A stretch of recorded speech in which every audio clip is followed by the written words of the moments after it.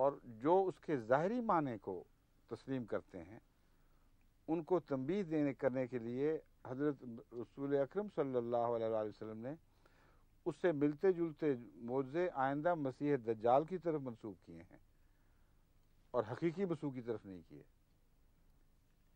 اس کو پڑھ کر یہ میرا ذہن اس طرح گیا تو بہت ہی ایک گہرا نقطہ اس کی عبارت سے میرے ہاتھ آ گیا۔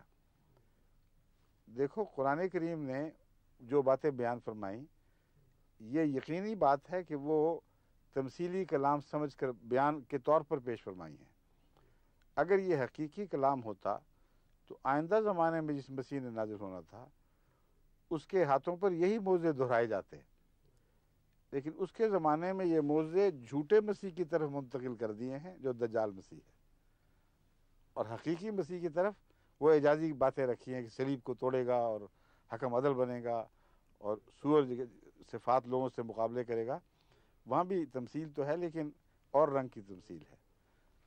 تو یہ سا، انہوں نے معلوماتوں کی بات ایسی نوٹ کی ہے، کہتے ہیں کہ دیکھو، کرامتیں بھی ہوئیں، تو جیسی مسیح دجال کی ہونے والی تھی، حدیثوں میں مسیح دجال کا تذکرہ پڑھ کے وہ کرامتیں یاد آ گئی مولوی صاحب کو، جو بائبل میں مسیح کی طرف منسوخ کی جاتی ہیں۔ تیسری انجیل کے آٹھویں باپ کے دوسرے اور تیسرے درس سے ظاہر ہے کہ بہتری رنڈیاں اپنے مال سے حضرت عیسیٰ کی خدمت کرتی تھیں۔ بس اگر از یہودی از راہ خباست اور بدباتی کے کہے کہ حضرت عیسیٰ خوشرو نوجوان تھے، رنڈیاں ان کے ساتھ صرف حرام کالی کے لیے رہتی تھیں۔ اس لیے حضرت عیسیٰ نے بیانہ کیا اور ظاہر یہ کرتے تھے کہ مجھے عورت سے رغبت نہیں ہے۔ کیا جواب ہوگا؟ جواب کہتے ہیں، کوئی جواب نہیں ہوگا۔ بات ختم کر دی۔ بریلوی مسلک کے مولوی صاحبان نے تو اوٹ پٹانگ باتیں کی، بس۔ لیکن کی ضرور ہے؟ کچھ نہ کچھ۔ ان کے بڑے امام جو ہیں، بہت بلند مرتبہ کہلاتے ہیں اپنے مسلک میں۔ قادری مولانا مولوی شاہ احمد رضا خان صاحب قبلہ قادری اپنی کتاب الطاع نبویہ فی الفتح رضویہ رضویہ میں فرماتے ہیں۔ جلد اول سے یہ حوالہ لیا گیا ہے۔ جہاں میں نے حوالے نہیں کیے دیے، وہ بنا لو باقاعدہ۔ اصل سے کہو وہ فوٹو اسٹیٹ نکالیں۔ اور جو جو بھی میں حوالے دیتا ہوں، وہ بعد میں ایک پروگرام بناؤ، وہ دکھانا شروع کرو۔ تھوڑی تھوڑی دیر ٹھہرا کے تاکہ لوگ دیکھیں اور نوٹ کر لیں۔ دیکھ لیں کہ ہاں یہ باتیں اسی طرح لکھی ہوئی تھیں۔ تو کہتے ہیں ہاں ہاں عیسائیوں کا خدا مخلوق کے مارے سے دم گنوا کر باپ کے پاس گیا۔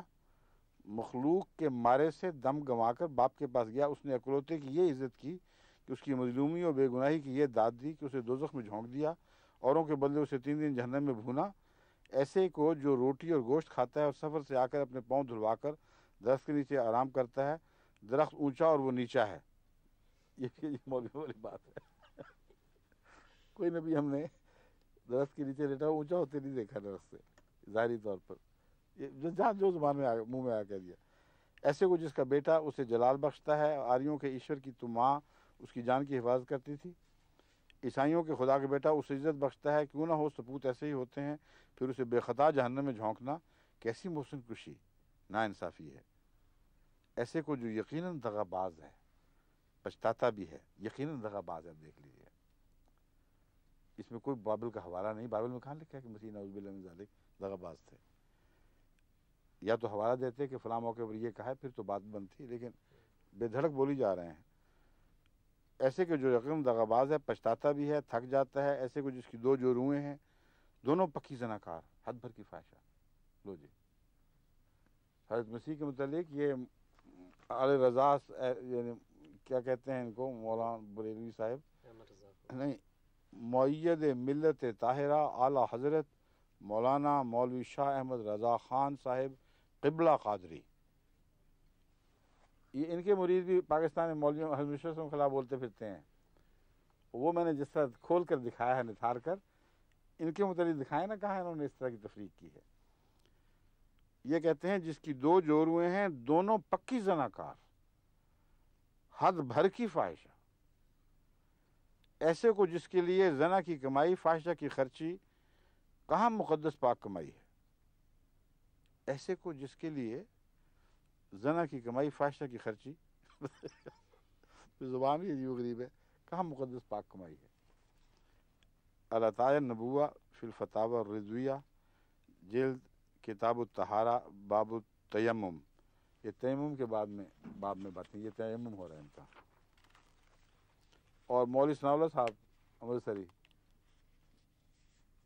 پھیکی پھیکی بہودہ سی زبان ہے، اس کو تو پڑھنے کی ضرورت نہیں مگر کچھ کچھ نہ کچھ بولے ضرور ہیں، یہ ماننا پڑے گا۔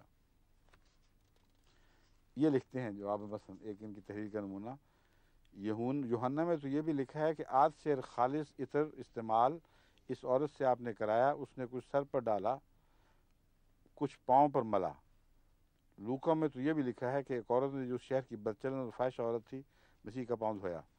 بہر مولوی سناللہ صاحب نے، چونکہ یہ احمدیوں سے بہت ملتے جلتے تھے، حضرت نواب محمد علی خان صاحب کے گھر میں بہت عرصہ رہے، ایک گھر کے ٹیچر استاد کے طور پر، اور وہ بڑا ان کے ہاں سے فائدے بھی اٹھائے۔ اس لیے ان، انہوں نے وہ احتیاطیں ضرور کی ہیں جو جماعت احمدیہ کا مسلک ہے، کہ وہ بات کرو جس کا قطعی ثبوت بائبل سے پیش کر سکو، مزید باتیں اس حوالے کے بغیر نہ کرو۔ انہوں نے یہ بہرحال اچھی بات کی ہے، ہر جگہ جواب میں لوکا متی، مرکز، سب جگہ کے حوالے دیے ہیں۔ مثال کا حوالہ دیا ہے۔ پھر آگے موزہ سے شراب سازی کا کام لے کر اپنا جلال ظاہر کرتے تھے۔ چلو جی یہ تو ہو گیا۔ وہ ان کی تاریخ کا حصہ، مولویوں کی تاریخ کا حصہ، جس کے اوپر ہاتھ رکھ کے بیٹھے ہیں اور بیان نہیں کچھ کرتے۔ اب حضرت مسیم علیہ والسلام اپنا موقف پیش فرما رہے ہیں کہ میں کیوں کر رہا ہوں، کیا ہو رہا ہے، میرے دل پہ کیا گزر رہی ہے، میرا کیا مسلک ہے؟ جب ہمارا دل بہت دکھایا جاتا ہے اور ہمارے نبی کریم صلی اللہ علیہ وسلم پر طرح طرح کے ناجائز حملے کیے جاتے ہیں، تو صرف متنبع کرنے کی خاطر انہی کے مسلم انہی کی مسلمہ کتابوں سے الزامی جواب دیے جاتے ہیں۔ ان لوگوں کو چاہیے کہ ہماری کوئی بات ایسی نکالیں جو حضرت عیسیٰ کے متعلق ہم نے بطور الزامی جواب کے لکھی ہو اور وہ انجیل میں موجود نہ ہو۔ ایک نکال کے دکھا لیں۔ آخر یہ تو ہم سے نہیں ہو سکتا۔ جو مرضی کہہ لو مجھے اب۔ اس جرم میں جو گالیاں دینی ہیں مولوی، دے ڈالو۔ آخر یہ تو ہم سے نہیں ہو سکتا کہ آ حضرت صلی اللہ علیہ وسلم کی توہین اور ہم چپ رہیں۔ یہ بے اختیاری ہے۔ یہی بحث درس میں بھی اٹھی تھی تھوڑی دیر کے لیے۔ میں نے زیادہ سختی تو بالکل نہیں کی تھی۔ بہت میں روکتا تھا لیکن کہیں کہیں نکلی جاتی تھی بات کو تو اس پر بھی بعض ہمارے دوستوں کو خیال آیا کہ دیکھو یہ زمانہ کیسا ہے، یوں نہیں ہونا چاہیے۔ ہمیں تو باہر اپنے نمونے دکھانے چاہیے۔ ان کو میں بتاتا ہوں کہ عشق کے منازل اور ہیں۔ عشق کے مقامات اور ہیں۔ وہ ایک انسان کی بے اختیاریاں سمجھنی چاہیے۔ اس کا روزمرہ کا معمول ہے ہی نہیں کہ خام کا ہر وقت گالی گلوچ کرتا پھرے۔ وہ اپنے مسلک سے ہٹ کر اگر کوئی بات سختی کی کر جاتا ہے، تو اس کے پیچھے کچھ اس کی مجبوریاں لاحق ہیں۔ یہی حضرت مسیم علیہ السلام نے ایک فکرے میں بیان فرما دیے سب۔ ہم سے، آخر یہ تو ہم سے نہیں ہو سکتا کہ آ حضرت صلی اللہ علیہ وسلم کی توہین سن کر چپ رہیں۔ یہ ممکن نہیں ہے میرے لیے۔ آپ کا یہ فرمانا کہ گویا حضرت مسیح کے حق میں میں نے گالی کا لفظ استعمال کر کے ایک گونا بے ادبی کی ہے۔ مسیم علیہ السلام جنگ مقدس میں پادری تم کو عبداللہ کو مخاطب کر کے کہتے ہیں، یہ آپ کی غلط فہمی ہے۔ میں حضرت مسیح کو ایک سچا نبی اور برگزیدہ خدا تعالیٰ کا ایک پیارا بندہ سمجھتا ہوں۔ وہ تو ایک الزامی جواب آپ ہی کے مشرق کے موافق تھا اور آپ ہی پر وہ الزام عائد ہوتا ہے، نہ کہ مجھ پر۔ فرمایا، جب میں جوابی حملہ کر رہا ہوں، تمہارے نزدیک مسیح پر اور گستاخی کر رہا ہوں، تو میرا مسلک تو یہ ہے ہی نہیں کہ وہ یہ تھے۔ میں تو قرآن کے مسیح پر ایمان لاتا ہوں، بائبل والے مسیح پر تو لاتا ہی نہیں۔ تم پر فرض ہے کہ اس الزام کا جواب دو کہ تم نے مسیح کے اوپر گند بولا ہوا ہے۔